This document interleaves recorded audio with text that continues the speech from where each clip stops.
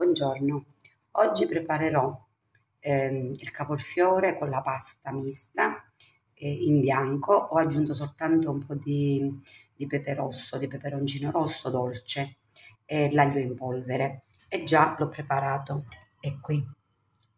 E poi aggiungerò la pasta come si fa la napoletana tutto insieme. Invece in questa pentola ho messo a bollire le, le bietole eh, con un po' di sale in più perché sono molto dolci e ho messo da parte la mozzarella alla julienne, il pangrattato, la besciamella e il resto di bietole che aggiungerò alle, alle coste perché le coste le farò al forno e quindi metterò un po' di olio, le coste, poi metto la mozzarella e il pangrattato sopra con un, po di, un altro pochino di sale.